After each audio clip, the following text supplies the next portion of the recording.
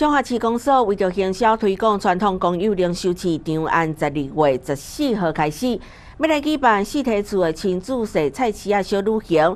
市长林世贤搁盘演起菜市仔达人，带着幼稚园的小朋友来试花样市场。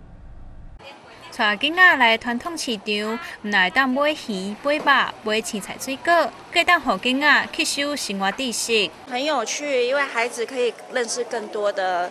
东西，而且可以更多的那个我们平常说，因为在家里平常看到都是煮好的，但是在这里呢，你可以看到活生生的整只的，而不是只有在书上跟餐桌上所能看到的东西。外市场有很多好玩又新奇的东西。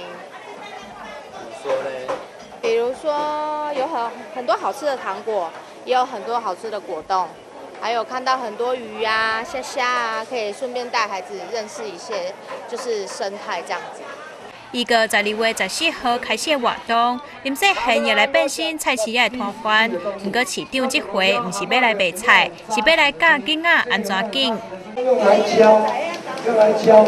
如果是很扎实的声音，代表这个蛤蟆还是活的；如果敲起来空空的、不扎实的声音。哎，这个蛤蟆已经死掉了，就不新鲜了。林世贤指出，乡亲的消费习惯大部分拢转向大卖场，也是超级市场。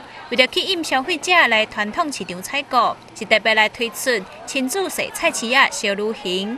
咱如何如何让传统市场啊提升也卫生，提升也服务品质，让更多人哦更加多少年朋友愿意行入来传统市场。